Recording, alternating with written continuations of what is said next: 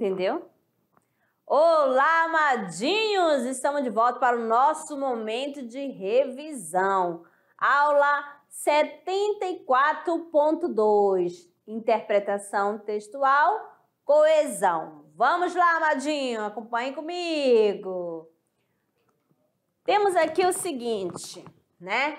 A coesão é a ligação entre as partes do texto. Quais são essas partes, né? As palavras, orações, o parágrafo. Beleza? Quais são os elementos que promovem essa coesão textual? Olha só, temos aqui a anáfora que vai retomar as palavras.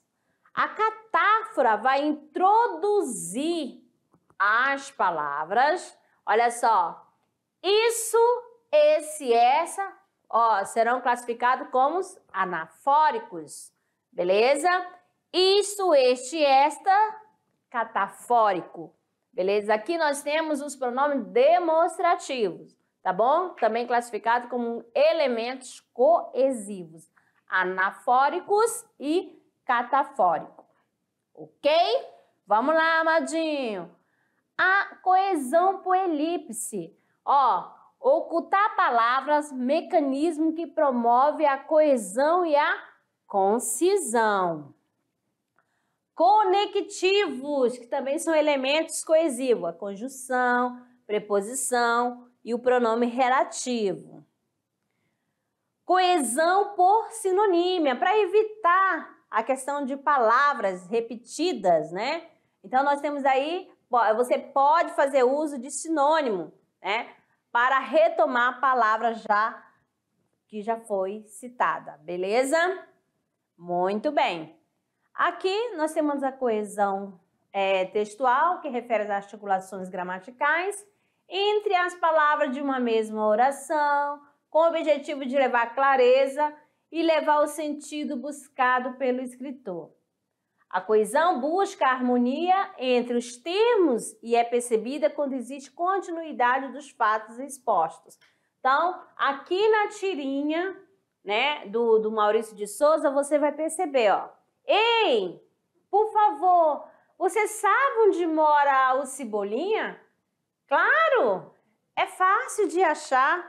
É só olhar a antena da casa. Então, você percebe aqui nessa tirinha que houve uma progressão textual, que houve continuidade. Tá ok? Então, amadinho, até aqui a gente faz a nossa revisão e aguardando vocês lá no Tirando Dúvida. Até lá!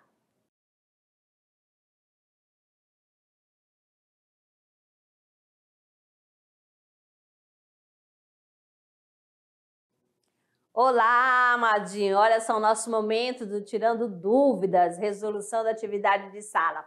Vamos lá para a primeira questão. Acompanhando aqui comigo, tá certo? A questão 1.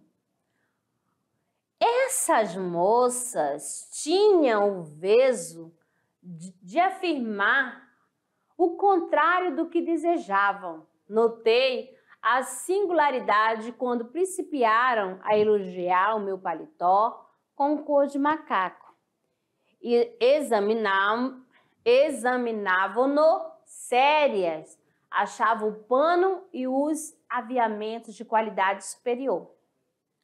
O feitio admirável. Envadecei-me, nunca havia preparado em tais vantagens mas os gabos se prolongaram. Trouxeram-me desconfiança. Percebi, afinal, que elas zombavam e não me susceptibilizei. Longe disso, achei curiosa aquela maneira de falar pelo avesso, diante das grosserias a que me habituara. Em geral, me diziam com franqueza: que a roupa não me assentava no corpo, sobrava nos sovacos. Graciliano Ramos, infância. Vamos lá ao enunciado da questão. Temos aqui o seguinte, ó. Por meio de recursos linguísticos, os textos mobiliza estratégia para introduzir e retomar ideias, promovendo a progressão do tema. Olha só, já tá, tá aí, tá falando, você vai lembrar da catáfora, que retoma, o catáfora, anáfora que retoma e a catáfora que introduz. No fragmento transcrito, um novo aspecto do tema é introduzido pela expressão. Aí você vai. Letra A, singularidade. B, tais vantagens. C, os gabos. D, longe disso.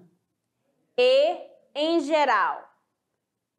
Qual é a alternativa? A, B, C, D. Oi, amadinhos. Muito bem.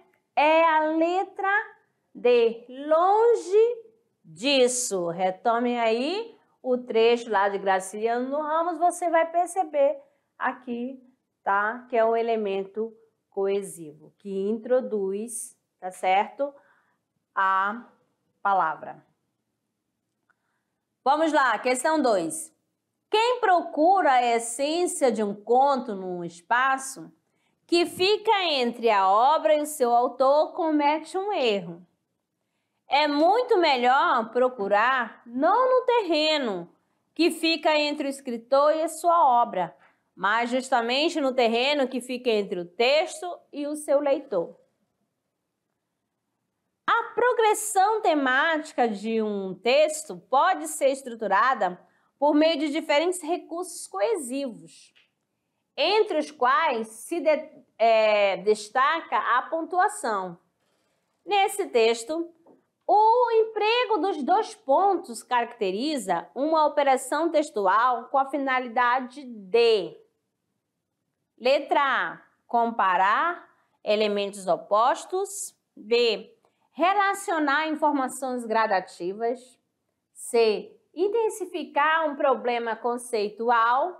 De introduzir um argumento esclarecedor. E assinalar uma consequência hipotética. Então, você vai ver aqui, você volte aqui, ó, nessa parte quando fala do da pontuação, tá bom? Lá no texto, ó, comete um erro, é muito melhor procurar não no terreno que fica entre o escritor, entre o escritor e sua obra, mas justamente no terreno que fica entre o texto e o seu leitor. Então, qual é a finalidade? Comparar, relacionar, intensificar, introduzir ou assinalar. Temos aqui, vamos lá, aqui a função é de introduzir um argumento esclarecedor. Então, quando ele fala assim, é muito melhor procurar não no terreno que fica entre o escritor e sua obra. Então, ele está esclarecendo. Então, vamos lá, Amadinho, para a terceira. Leia o texto a seguir para responder a questão. Nós temos aqui o seguinte, ó. Júlia tem um sonho. Ela pretende estudar nos Estados Unidos, mas como não tem condições financeiras, pensa que seu sonho é impossível. Contudo, a menina recebeu um telefonema, o qual anunciava que ela havia ganhado, havia ganhado uma bolsa de estudos em Los Angeles. Os elementos em destaque, a bolsa de estudos em Los Angeles, no texto faz uma referenciação, ok, letra A, anafórica. B. Catafórica. C. Anafórica indireta. D. Anafórica associativa. E. Desfocalizada. E aí, amado? Ó, a menina recebeu um telefonema, o qual anunciava que ela havia ganhado uma bolsa de estudo em Los Angeles. Qual é a alternativa? Temos aqui alternativa letra C, tá certo? Anafórica indireta. Muito bem, vamos lá. Questão 4. Pares, filho de, do rei de Troia, raptou Helena, mulher de um rei grego. Isso provocou um sangrento conflito de 10 anos, entre os séculos 13 e 12 a.C. Foi o primeiro choque entre o Ocidente e o Oriente, mas os gregos conseguiram enganar os troianos. Deixaram à porta dos seus muros fortificados um imenso cavalo de madeira. Os troianos, felizes com o, com o presente, puseram-no para dentro. À noite, os soldados gregos, que estavam escondidos no cavalo, saíram e abriram as portas da fortaleza para a invasão. Daí surgiu a expressão presente de grego. Em puseram-no a forma pronominal, o no, presta atenção, refere-se a quê? Letra A, ao termo rei grego. B, aos antecedentes gregos. C, ao antecedente distante choque. A, expressão muros fortificados. E, aos termos presente cavalo de madeira. Você, amadinho, você pode retornar, né, lá a leitura. Vamos lá, vamos procurando aqui. Onde que tá? Deixa eu ver aqui. Ó, puseram, olha só.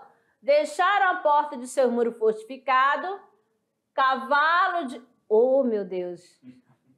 Pela fé, de novo, aqui, ó. Vou ter que colocar aqui para ficar bonitinho. Pronto. Deixa eu ver se ficou. Ficou. Ó, um imenso cavalo de madeira. Os troianos fizeram com o presente, ó, puseram-no para dentro. Então, você aqui já vai percebendo, ó. Quem que ele, que, que ele colocou para dentro? O cavalo de madeira, né? Eles ficaram felizes com o quê? Com o presente. Então, aqui tá bem bacana para você fazer análise. Então, bem fácil. Esse no está se referindo a cavalo de madeira e ao presente, que foi o presente. Belezinha? Então, aqui a alternativa, letra E. Direto, amadinho. Vamos lá para o Se Liga no Enem. Questão 5. Certa vez, minha mãe surrou-me com uma corda nodosa que me pintou as costas de manchas sangrentas. Moído, virando a cabeça com dificuldade, eu distingui, distinguia nas costas grandes lânhos vermelhos.